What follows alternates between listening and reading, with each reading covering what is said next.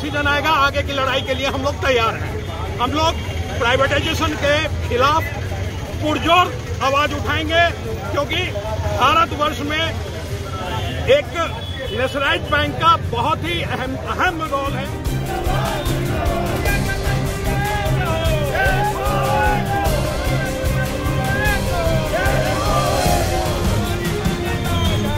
नमस्कार, आप देख रहे हैं न्यूज़ फॉर और मैं हूँ आपके साथ रुचिका राज।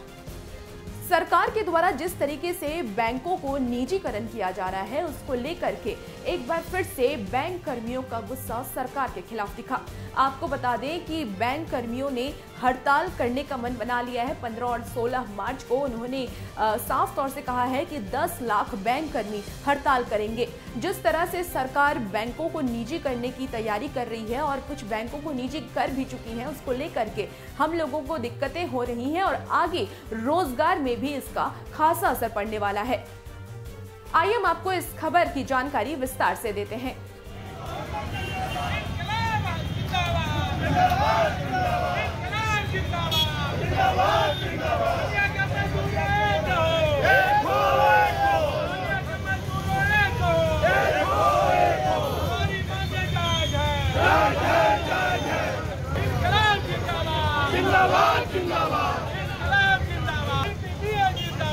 जिंदाबाद जिंदाबाद।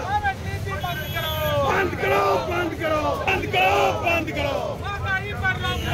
रोक लगाओ रोक रोक लगाओ रोक लगाओ united forum of bank union के बैनर तले बैंकों के निजीकरण के विरोध में बैंक कर्मियों ने जोरदार प्रदर्शन किया है। बैंक कर्मियों ने विरोध मार्च निकालकर केंद्र सरकार के खिलाफ जमकर नारेबाजी की है। यह प्रदर्शन शहर के केदारनाथ मार्केट से निकलकर व्यवहार न्यायालय होते हुए गांधी मैदान पहुँची। इस मौके पर बैंक कर्मी विनोद शर्मा ने बताया है कि केंद्र द्वारा बैंकों के निजीकरण के खिलाफ विरोध प्रदर्शन किया जा रहा है। इसके अलावा 15 और 16 मार्च को देश भर के 10 लाख कर्मचारी अधिकारी हड़ताल पर रहेंगे। वर्तमान में केंद्र सरकार तीन बैंकों को निजी हाथों में बेचने को लेकर घोषणा कर दी है। वहीं इसके अलावा रेल बीमा एयर इंडिया जैसे क्षेत्र को भी निजी हाथों में सौंपने जा रही है।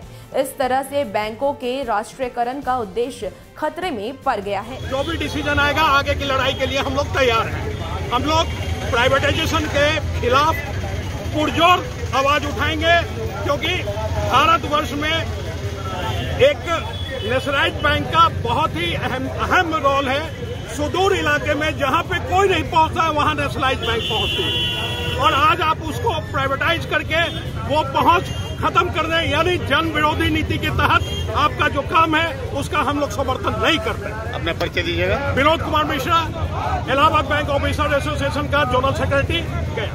सीधा प्रभाव जनता को मिलने वाले लाभ पर पड़ेगा जैसे छोटे छोटे लाभ और छोटे उद्योग के लिए मिलने वाले ऋण समाप्त हो जाएँगे।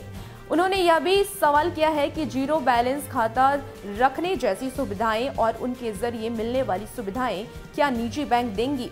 निजीकरण का सीधा प्रभाव यह होगा कि सीधे सीधे ग्रामीण शाखाएँ बंद होती जाएँगी और ग्रामीण जनता प्रभावित होंगी।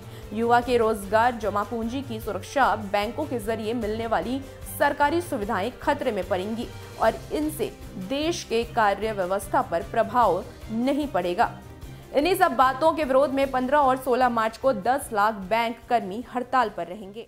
आपको बता दें कि साफ़ तौर से बैंक कर्मियों का ये कहना है कि जिस तरीके से सरकार निजीकरण कर रही है, वो गलत है और जितनी सुविधाएँ सरकारी बैंक देती हैं लोगों को, उतनी सुविधाएँ निजी बैंक नहीं दे पाएँगी। और क्या कुछ कह रहे हैं बैंक कर्मी? छोड़े जाते हैं आपको उनके पूरे बयान के साथ।